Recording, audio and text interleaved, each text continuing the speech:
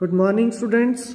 Today we start next unit aldehyde ketones and carboxylic acid. There are two parts of this unit. Part A contain aldehyde and ketone and in part B we discuss about carboxylic acid. So in unit 11 we have learned the two classes of organic compound that is alcohols and ethers along with phenol and carbon oxygen single bond but in this chapter we will discuss about those functional group which contain a carbon oxygen double bond which is known as carbonyl group so in case of aldehyde ketone and carboxylic acid the carbonyl group present in them so first we start Part A aldehyde and ketones. Both aldehyde and ketones contain a carbonyl group. Carbonyl group. If we attach one hydrogen atom to the carbonyl carbon and one side we attach hydrogen either hydrogen or alkyl group. We obtain a functional group aldehyde CHO which one? CHO which is a terminal functional group. We never attach to in, in between them.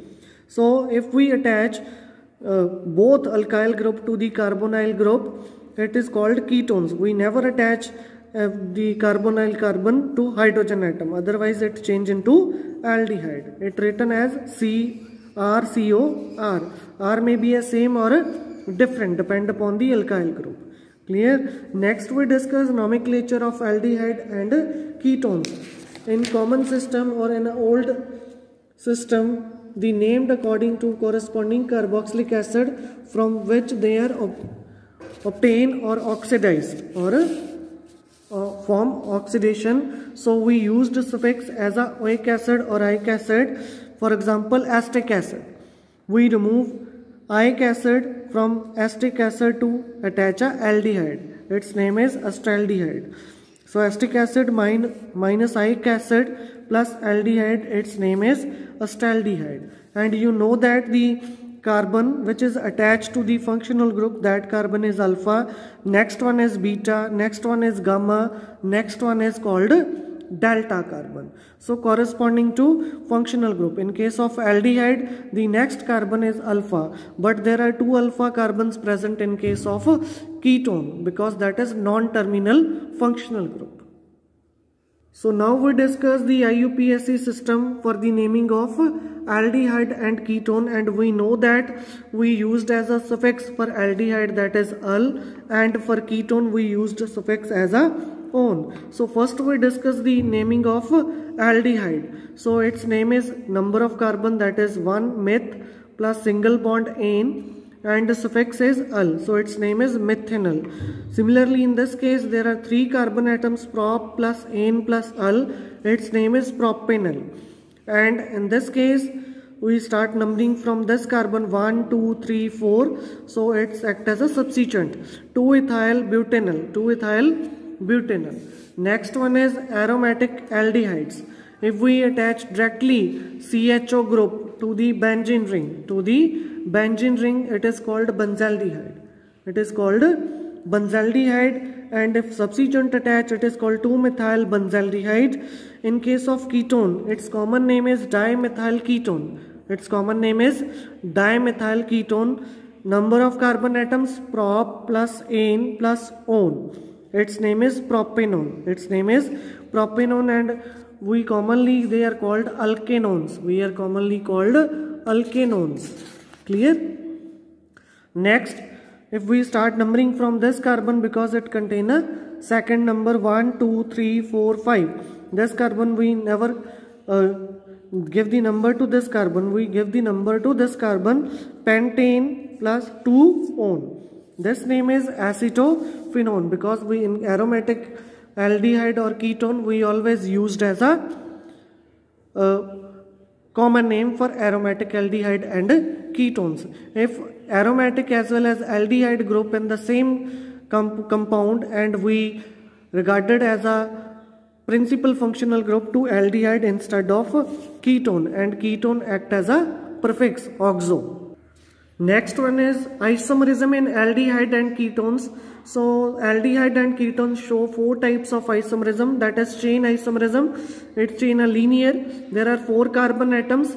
So butanal and if secondary carbon attached to the aldehyde group, it is called 2-methyl propanal. Same chemical formula, molecular formula, but different structure formula. And similarly in case of ketone, it's a linear chain, it's a branch chain.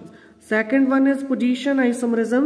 Aldehyde used as a terminal functional group but ketone non-terminal so there are three carbon atoms there are one in another molecule there are two carbons both side of ketone group. So pentane 2N 2 on here pentane 3 on. In case of aromatic it's a mat ortho it's a meta and para position. Orthomethyl benzaldehyde meta methyl benzaldehyde para methyl hide next functional isomerism there are three carbon atom six hydrogen and one oxygen it's act as aldehyde we also write the formula of ketone that is acetone because aldehyde and ketone are functional group isomers each other like alcohol and ether clear so molecular formula same but functional groups are different. Next metamerism it's shown by only ketones not an aldehyde because it is a non-terminal. So here three carbon attached this side there one. If we attach both side two two carbons that is metamerism like a position isomerism Next we start the preparations of aldehyde and ketones. So there are so many methods to prepare aldehyde and ketones which we discuss here. Both preparations aldehyde and ketone.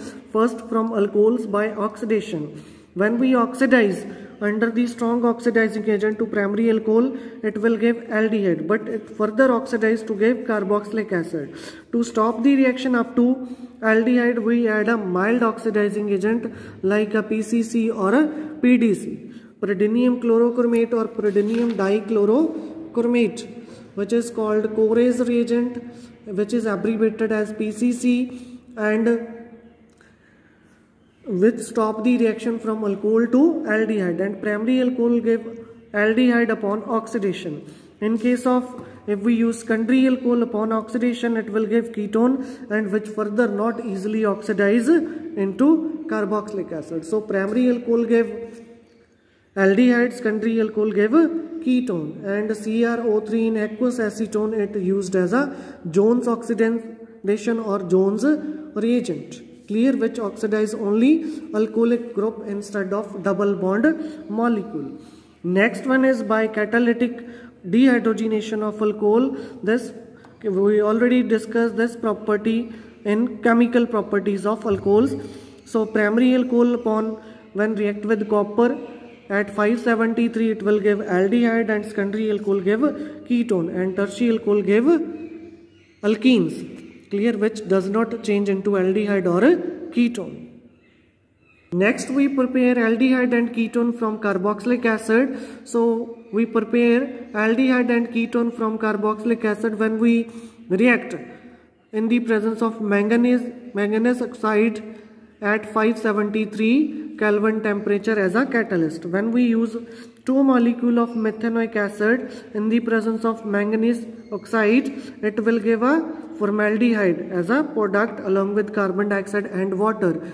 If we use reactant one molecule of ethanoic acid and one methanoic, we obtain acetaldehyde, second member of aldehyde group. If we take both molecules of methanoic or ethanoic acid, sorry, we obtain ketone. So first member of carboxylic acid give a formaldehyde, one first member and one second member molecule, it will give second member of aldehyde. If we use both methanoic acid, it will give acetone. Similarly, if we react calcium salts of carboxylic acid upon distillation, it will give first member of methanal. If we use calcium acetate and calcium formate molecule it will give a two molecule of acetaldehyde if we use here both molecules of calcium acetate we obtain acetone. We obtain acetone. Clear? So we also prepare aldehyde and ketones from calcium salts of acids. Clear? Next we prepare aldehyde and ketone from hydrocarbons first by hydration of alkynes.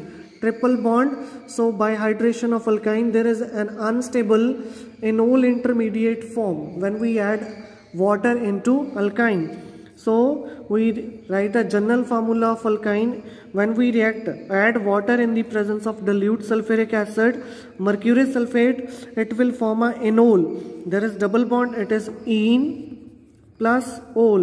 So its name is enol its name is enol so it is unstable. This hydrogen moves to this carbon and this double bond comes to oxygen. So it form a methyl ketone it form a methyl ketone. And the product depend upon the starting reactant. If here hydrogen then we obtain a aldehyde as a main product a acetaldehyde but there is a one limitation of this method. We cannot obtain formaldehyde from this method. Next one is by hydroboration oxidation reaction. When we react alkyne with the diborane in the presence of solvent tetrahydrofuran we obtain a intermediate product. This one further upon basic hydrolysis basic medium alkaline peroxide so it will give enol product which is unstable and easily changes into aldehyde easily changes into aldehyde. And same the product depend upon the starting reactant. Next one is by ozonolysis of alkene. We also obtain aldehyde and ketone on by from alkene with the reaction of ozone.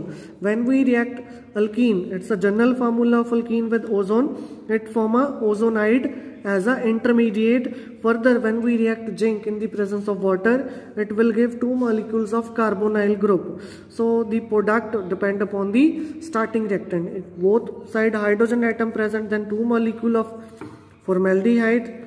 If one side CH3 then one molecule is acetaldehyde another one is formaldehyde. If both carbon contain one alkyl group then both molecules of acetaldehyde if all side of carbon towards the double bond are alkylated both molecules of ketone form. So the product depend upon the starting reactant what type of alkene you used. Next method is by Wacker process. In this case we react propene or ethene with palladium chloride along with water in the presence of cupric chloride in air it will form acetone or aldehyde. That also depend upon the starting reactant. And what is the role of cupric chloride because palladium chloride is expensive reagent so that's why we add cupric chloride which recover palladium chloride from the product. Clear? So that's why it is again used for change the reaction or to obtain the aldehyde and ketone Next preparation from gem dihalide. So we use 1,2-dichloroethane in the presence of aqueous KOH or barium hydroxide. We obtain an unstable diols because when both OH group attach to same carbon atom that is unstable and easily changes into aldehyde. So if you guys have any doubt up to this topic you can call me or through message you clarify your doubt. Thank you.